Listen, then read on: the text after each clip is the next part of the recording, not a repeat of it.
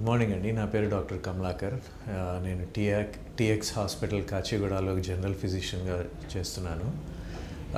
Today మనం hypertension గురించి మాట్లాడుకుందాము any elevated blood pressure is called hypertension current terminology American Heart Association ప్రకారం anything above one thirty or ఈ one thirty by eighty or above eighty is called as hypertension um, anything less than above 120 but less than 80 is called as uh, prehypertension.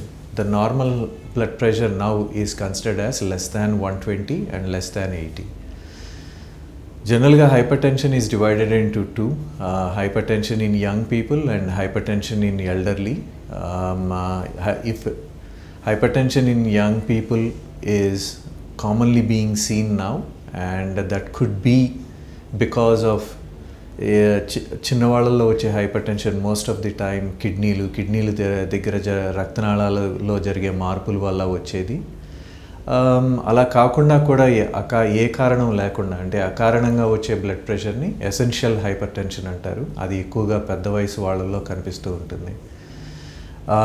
The most important cause of blood pressure essential అవనివ్వండి ఇంకా వేరే కారణాలు అవనివ్వండి the most important thing to control or the cause reason for hypertension current generation is excess salt intake so మన so there is another classification which we check in which is called as salt responsive hypertension and non salt responsive hypertension salt responsive hypertension is more frequent in Indian population అంటే ఏంటి అంటే salt కనుక డైట్లో తగ్గిస్తే blood pressure కూడా తగ్గి control అయ్యే అవకాశం ఉంటుంది. So what as the the treatment plan or management or advice for hypertension వచ్చేటప్పటికి? The most important thing for hypertension control is taking less salt in diet the current recommendation goes up to four grams of salt per day allowed Indian average especially మన south ఇండియాలో మనం తీసుకునే తెలుగు వాళ్ళ ఆహారం అయితే కనుక salt పది నుంచి పదకొండు పాయింట్ ఐదు గ్రాములు ఉంటుంది. సో మనం ఆల్మోస్ట్ సగానికి తీసుకొస్తే మనకి హెల్త్ బెనిఫిట్ ఉంటుంది.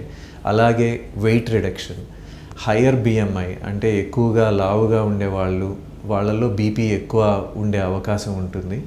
if you lose weight for every 1 kilo reduction in weight you can expect almost 10 mmHg of reduction in blood pressure. And the other one is um, also taking medications you know the most important thing అందరూ అడిగేది ఏంటి అంటే sir ఒకసారి మందులు తీసుకుంటే అలవాటు అయిపోతుందా లేకపోతే పర్మనెంట్గా ఏదైనా సైడ్ ఎఫెక్ట్స్ వస్తాయా? అని. Majority of the times the medications that we use in the therapeutic index అంటే మనం వాడాల్సిన మోతాదులో వాడుతున్నప్పుడు సైడ్ ఎఫెక్ట్స్ వచ్చే అవకాశం చాలా చాలా చాలా తక్కువ అండి and also now the medications that are available are wide and vary and you can because they are wide and variable మనం పర్సన్కి సూట్ అయ్యేటట్టుగా కూడా చేసుకోవచ్చు. They are twenty four hours working ఉన్నాయి.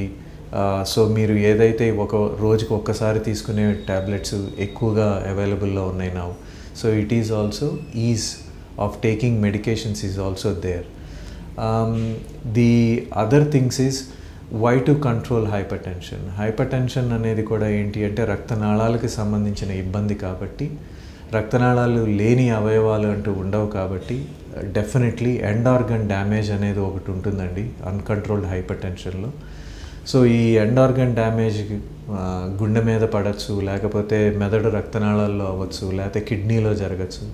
So failures of the organ failure అనేది జరగచ్చు కాబట్టి early detection and early treatment is the best way to move forward with treatment ఆస్పెక్ట్లో will see you again